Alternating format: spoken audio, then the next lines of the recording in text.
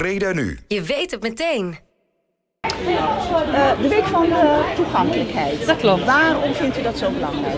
Ja, we vind, ik vind het ontzettend belangrijk dat iedereen in Breda, iedere Breda naar overal uh, naartoe kan, overal binnen kan en mee kan doen aan onze samenleving.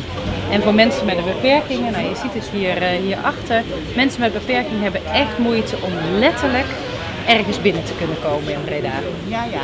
En uh, hoe gaat de procedure verder? Kunnen bedrijven zich aanmelden of wordt het vanuit de gemeente georganiseerd? Ja, gelukkig zijn er Bredaanse ondernemers die hebben gezegd wij willen in onze binnenstad heel graag ervoor zorgen dat winkels, horeca, restaurants beter toegankelijk uh, zijn. Dus die hebben de handen ineen geslagen en eigenlijk met een groep andere mensen, ook met het uh, Breda Centrum voor Gehandicaptenbeleid, samen met de gemeente, hebben we een plan geschreven om die stad uh, breder toegankelijk te maken. Dus het is eigenlijk bij de ondernemers zelf ook uh, een beetje begonnen. En er is een groep enthousiaste ondernemers, nou ja, zoals hier we vandaag hè, de eerste drempel hebben neergelegd bij Schoenmakerij De Leest. zo zijn er meerdere die zeggen, ja, wij willen samen met de mensen waarom het gaat, kijken wat we in onze winkel zouden moeten doen om het beter toegankelijk te maken. Want het lijkt makkelijk, Ja. maar dat is het niet altijd. Nee, want, want er zijn er winkeliers die dat bijvoorbeeld ook niet willen. En hoe kunt u ze daartoe uh, overhalen? Nou, ik denk dat het altijd belangrijk is om te beginnen bij degenen die wel willen.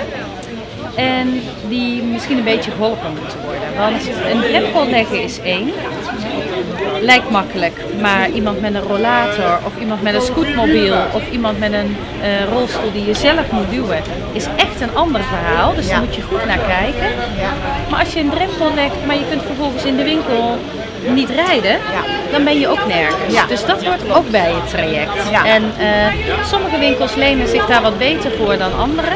Dus daar moet de ondernemer zelf ook even goed over nadenken. Wat hij wil en wat er kan in, in zijn plan. Ja, ik ben benaderd door deze organisatie of, uh, of ik daar interesse in had.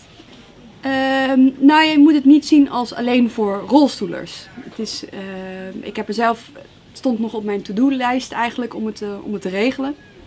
Maar het is ook voornamelijk kinderwagens, rollators, mensen moeilijk ter been. Je bent gewoon een stuk toegankelijker. En dat is eigenlijk je moet een goede open uitstraling hebben.